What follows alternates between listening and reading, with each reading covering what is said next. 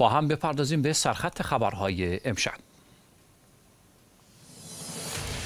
بزرگداشت سالگرد قیام بیستم ربیع الثانی سورت العشرین به رهبری میرزای شیرازی دوم. فشار بر روحانیون مسلمان در چین برای چینی کردن قرآن. تصویب اصلاحات جنجالی در قانون اساسی پاکستان. نگرانی ها درباره استقلال غذایی و ساکنان اندونزی به مسلمانان روهینگیایی اجازه پیاده شدن از قایق را ندادند.